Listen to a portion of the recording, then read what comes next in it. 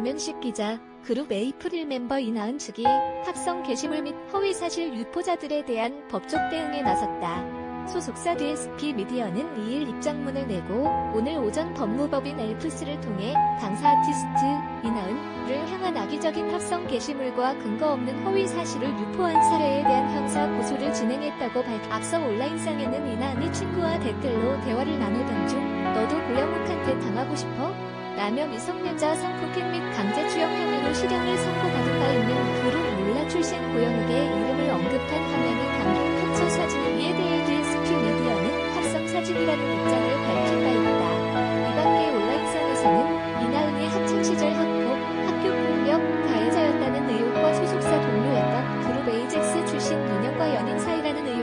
추가로 제기됐다. 이나은이 에이프릴 멤버들과 함께 팀을 탈퇴한 소속사 동료 이현주를 집단 따돌림시켰다고 주장하는 네티즌의 폭로글도 등장해 파장이 일었다.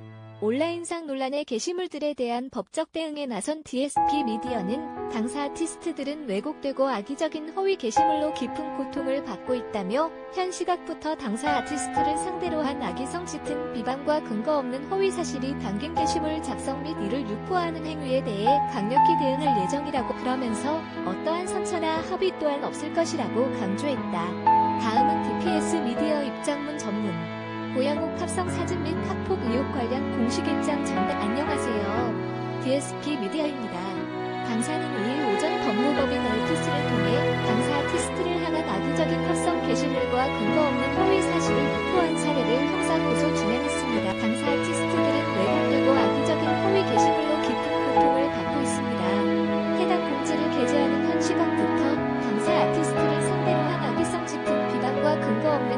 12 강경 게시물 작성 및 이를 유포하는 행위에 대해 강력히 대응할 예정입니다. 어떠한 선처나 합의 또한 없을 것입니다.